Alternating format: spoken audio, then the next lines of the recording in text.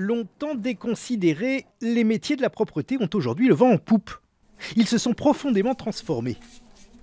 Aujourd'hui, nos agents de service, on leur demande beaucoup plus une attitude de service, on leur demande des techniques plus maîtrisées dans leurs euh, prestations, on leur demande beaucoup plus de traçabilité aujourd'hui, donc de pouvoir euh, aussi comprendre et appliquer des consignes de sécurité, des modes opératoires particuliers. Des services devenus sophistiqués pour répondre à des clients toujours plus exigeants et plus nombreux, les entreprises de nettoyage recrutent à tour de bras. Sur la région centre, je vous rappelle qu'on est 350 entreprises qu'on emploie plus de 15 000 salariés, eh bien oui, on est euh, à la recherche régulièrement, constamment euh, de profils, de, à la fois des gens euh, qui sont déjà issus du métier, mais d'autres qui viennent en reconversion chercher de l'emploi.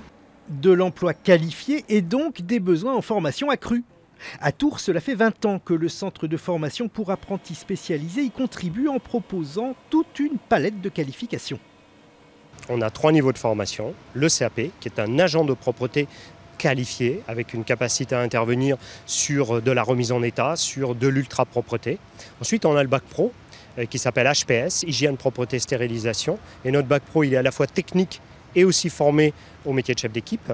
Et puis on a le BTS, métier de service à l'environnement, euh, qui est un BTS plus large que la propreté, puisqu'il couvre la propreté, la gestion des déchets, l'assainissement. Ces métiers offrent à présent de nombreux débouchés, mais chaque année il reste tout de même 30% d'offres de contrats d'apprentissage non pourvus.